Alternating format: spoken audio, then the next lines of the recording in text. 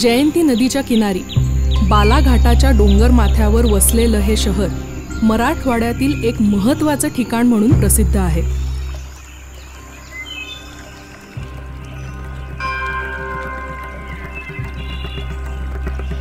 या शहराची आंबे आंबा आम्रपूर अवनंती जयंतीपूर जोगाई आंबे अशी नावे फार पूर्वीपासून अनेक शिलालेखात सापडतात.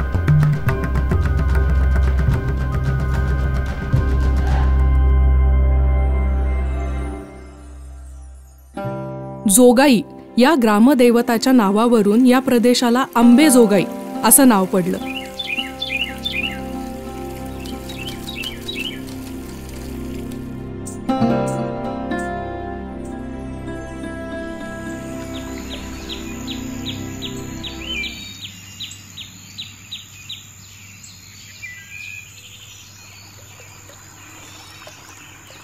आंबेजोगाईचा विचार करताना त्याचे ऐतिहासिक सामाजिक राजकीय कलात्मक असे सर्व पैलू पाहता येतील.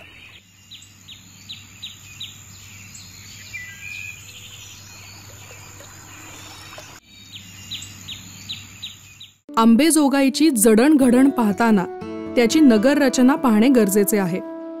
आंबेजोगाईचा त्यावेळेचा नकाशा किंवा त्यावेळची नगर रचना जी आहे ती तीन प्रकारानं सांगता येऊ शकेल. एक नगर रचना ही यादवांच्या काळातल्या आंबेजोगाईची नगर रचना. या नगर रचनेमध्ये देवीचं मंदिर ते प्रळवेस. आणि ती प्रळवेस म्हणजे पलीकडची खडकपुरेच्या बाजूची. इथपर्यंत पसरलेला भाग रविवार पेठ आणि या सगळ्या जुन्या पेठा. या रस्ते रस्त्याच्या अलीकडचा भाग त्याच्यामध्ये नाही. जुना आंबेजोगाई आहे. आणि त्या आंबेजोगाईला वेशी आहेत बारा वेशी आहेत. एक वेस ही आपण जैन गल्लीत जिथून प्रवेश करतो त्या ठिकाणी आहे. दुसरी वेस परळवेस आहे. तिसरी वेस दिसणारी आपल्याला म्हणजे रविवार पेठेतून आपण अमलेश्वराकडे जाऊ शकतो ती वेस आहे.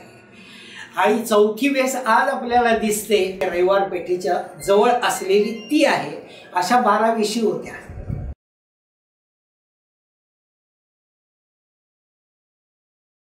मजबूत बांधकामाच्या भिंतींच्या वाड्यात अडचणीच्या वेळी लपून बसण्यासाठी लादण्यांचा वापर.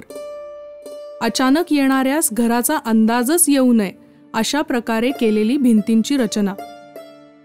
आडाचा पाण्याच्या व्यवस्थेबरोबरच गुप्ततेसाठी होणारा वापर. घराच्या उंचीवरून सर्व गाव व महत्त्वाचे चौक दिसतील अशी व्यवस्था. अशा अनेक वेगळेपणांनी या वाड्यांची रचना बदलते. प्रत्येक गल्लीत त्या त्या समाजातील लोकांची वस्ती आहे. त्यांची देवस्थानं आणि त्या गल्लीला त्या समाजाचं नाव अशी रचना पूर्ण गावभर दिसते. त्यावेळच्या परिस्थितीचा अभ्यास करताना येथील जलव्यवस्थेची रचना पाहणे फार महत्त्वाचे आहे. अंबाजोगाईची जलव्यवस्था ही येथील विहिरी आणि बारव यावर अवलंबून आहे. स्थानिक महात्म्याप्रमाणे सव्वाशे तीर्थस्थान म्हणजे जलाशय या गावात आज प्रत्यक्ष आपल्याला वीसपेक्षा जास्त बारवा पाहायला मिळतात या बारवांची निर्मिती नवव्या शतकापासून तर तेराव्या शतकापर्यंत प्रामुख्याने झालेली दिसते. आणि अंबाजोगाईचं एक वैशिष्ट्य आहे की नंतरच्या काळातसुद्धा या बारवांचा जीर्णोद्धार झाला आपण असं म्हणू शकतो की निर्मिती झाली. बालाजी मंदिराच्या मागची बारव आहे. त्या काळातली आहे. कदाचित बालाजी मंदिर नंतर बांधलेलं आहे. पण बारव त्या काळातली आहे. खडकपुऱ्यावरची बारव. त्यावेळेला त्याला खडकपुरा म्हणत नसतील आणि खडकपुरा नसेलही कदाचित पण ती बारव त्या वेळची आहे. या तो काळातली आहे. इथे बलुत्याचा मळा आपण म्हणत होतो त्याला. त्या बलुत्याच्या मळ्यामध्ये एक विहीर आहे आणि एक बारव होती.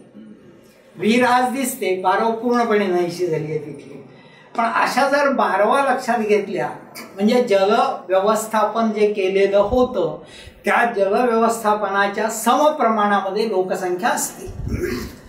त्यामुळे त्या अर्थानं पाहिलं तर तो काळ असा आहे की त्यावेळेला अंबेजोगाईची लोकसंख्या ही किमान सात आठ हजारापर्यंत असणार आहे.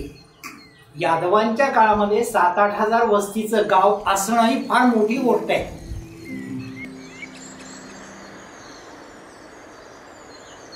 पदांचा अर्णव असा पदार्णव. गीतेवरती जी टीका लिहिली सव्वा लक्ष ओव्यांची ती टीका लिहिली ती त्याचं नाव गीतार्णव अध्यात्म आणि आत्मा परमात्मा आणि जीवात्मा याच्या अस्तित्वाविषयी. आणि त्यांना प्राप्त करण्यासाठी काय करता येईल? या दृष्टीनं मुकुंदराजाने जो नका विवेक सांगितला तो विवेकचा सिंधूच आहे.